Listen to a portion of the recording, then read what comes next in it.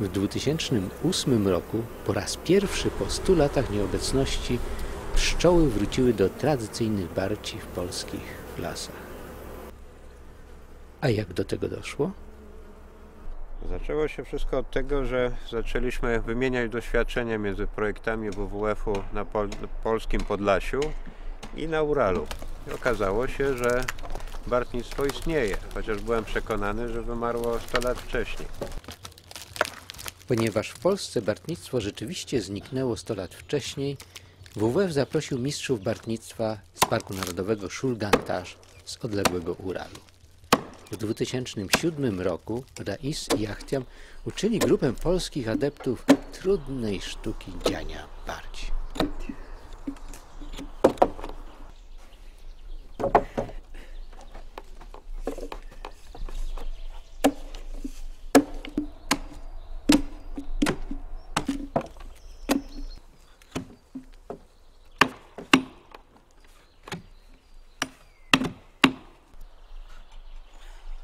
Uczyli oni także, jak zachęcać pszczoły, aby same zajmowały przygotowaną barć. Umieszczali w barci kawałki plastrów miodu. Musieliśmy tylko poczekać na pszczoły.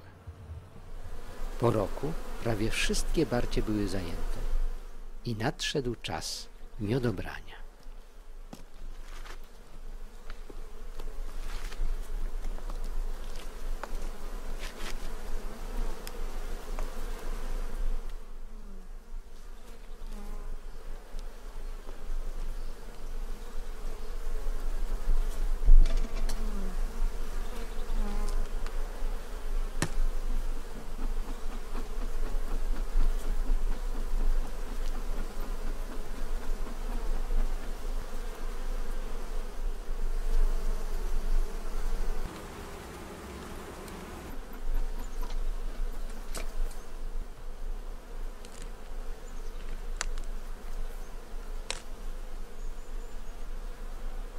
Jaka zabudowa, budowa? Nie, to jest pszczela, pszczela są.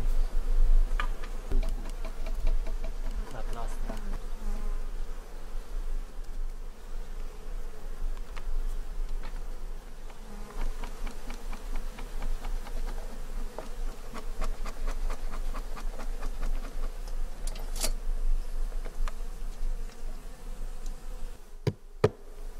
Rodzina w komplecie. Pozamykałeś?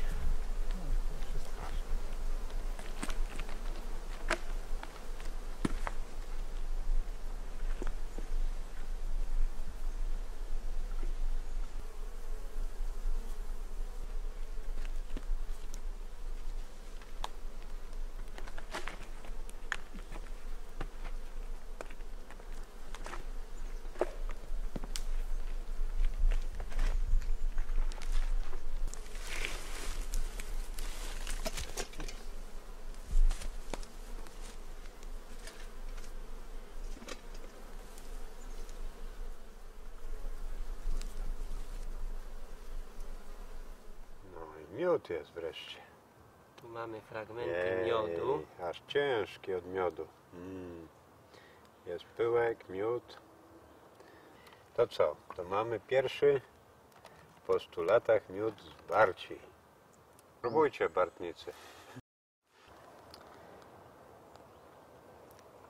Lekki aromat kwaskowy, posmak, No prawda? bo to od tego pyłku. Od pyłku. Mhm. Mm. No właśnie.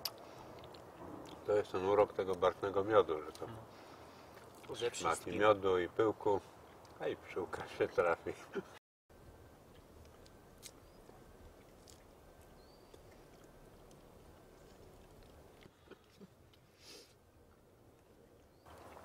Teraz tylko trzeba Czegoś, będzie czegoś było więcej. zadbać, żeby te rodziny, które już zasiedliły, przeżyły, żeby bardziej przybywało, Nie, myślę, że im tam miodu starszą zimę, nie? Jak tam żeby Wystarczy. to, tego miodu można było spróbować. Mm. Nie Zapasy tylko my, są. ale i żeby wrócił do Polski na, na nasze stoły. A czy będzie smakował, to zobaczymy. Jak może nie smakować taki miód?